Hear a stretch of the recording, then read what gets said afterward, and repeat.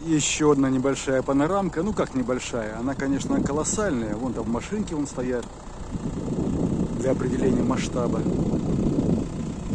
Вот такая вот красота. Город какой-то древний.